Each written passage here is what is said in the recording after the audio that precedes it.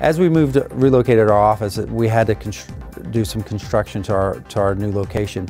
And development services was key and instrumental in that um, because we were on a short deadline. We had sold our a building that we'd been in for 15 years. And so um, we had a, a, drop dead, dead deadline of November 15th. So we were under a short, short construction time period.